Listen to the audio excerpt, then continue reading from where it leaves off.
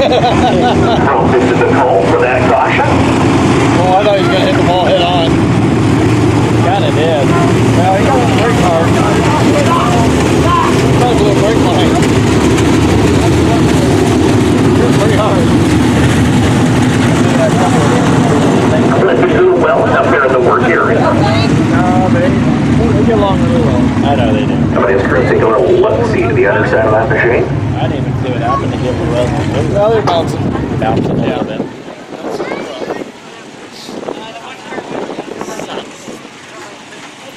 Kind of hard to stop when you're in midair.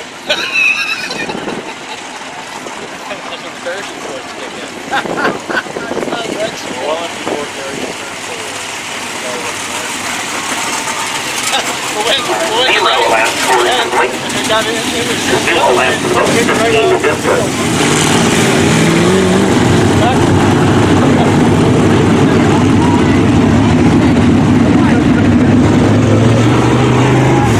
All things set.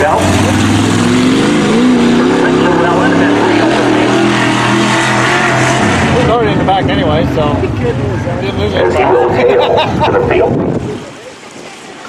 We're at 10th now. Yeah. We're from the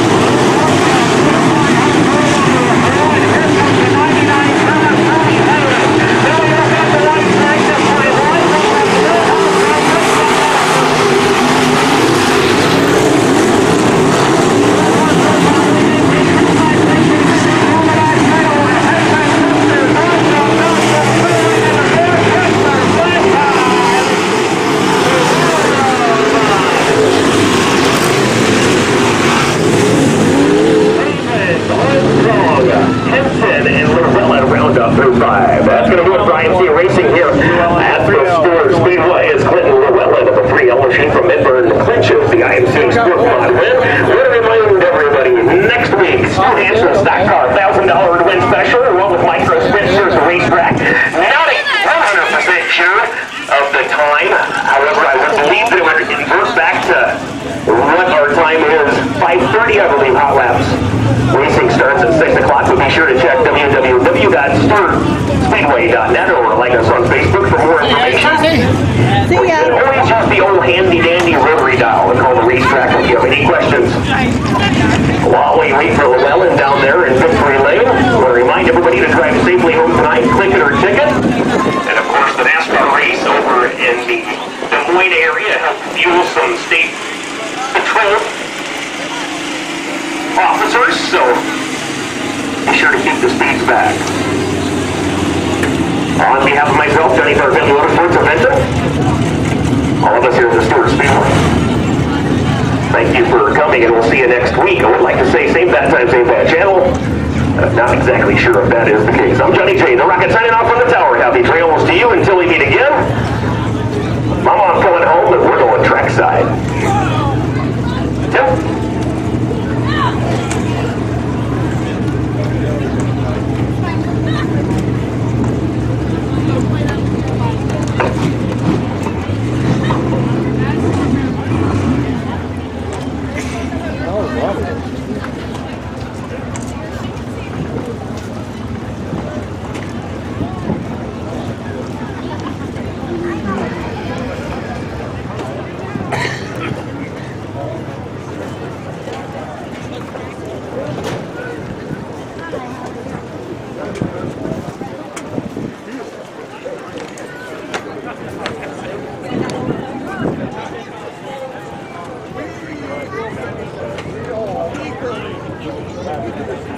Unstrapping the machine from them. He's on the car, ladies and gentlemen. Let him hear it from Midford, Clinton Llewellyn.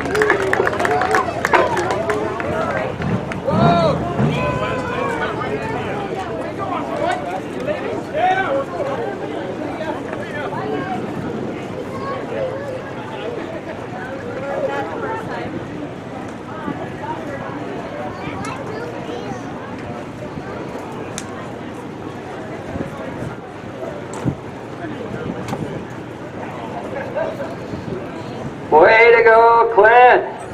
What a wild race that was. Start in the middle, go to the back, go to the front, then almost get wiped out a few laps before the end. Yeah, that was definitely a wild ride. That's for dang sure. Good grief. We've had some really interesting finishes here tonight. It's been some good racing on this little bit tackier track. There's a, a lot of guys getting a lot of grip out here. Yeah, that's for sure. It's definitely tacky. Um, you know, they changed it up tonight. You got to give it to them. You know, a lot of people come to Stuart to race on dry slick, but uh, they they pleased the other half of the crowd and they pleased the other half of the racers tonight. And they did a pretty dang good job of holding it together. I was afraid that it was going to get super rough, but I'm glad it stuck together. So am I. Yeah, yeah. It's just an unfortunate deal there. I thought I took my brother out of the race at the beginning, but um, we just kind of got together. Well, it happens even with brothers, you know. yeah, I thought I was hitting the wall. That was my problem. I mean, we collided real hard. I don't know how hard it was, but we hit real hard. And um, I just remember closing my eyes hope I wasn't going to hit the wall next. And then I went over there and uh, they told me I wasn't broke. And I said, all right, well, it looks like we better put her up front. Well, I think what you did is you made an extra effort to get to the front so you wouldn't accidentally run into him again. Yeah, no, it, it definitely wasn't that. It was just uh, I was uh, thought I was broke, and then we had the second chance, so we better make the best of it. But I definitely got to give a huge shout out to my father uh, on Father's Day. What an awesome win, um, especially from where we started and kind of what we went through there. But he does everything for us day in day out, and by far we wouldn't be able to do this sport if it wasn't for him. So got to give him a huge shout out, and also my uh, father-in-law Don Richardson. Uh, he, you know, sweats the blood and tears on this race car. He works on it even more than I do. And uh, if it wasn't for him, we wouldn't be racing here either. So congratulations and uh, thanks to them guys and everybody else Father's Fantastic. God bless you, guys. Thank you.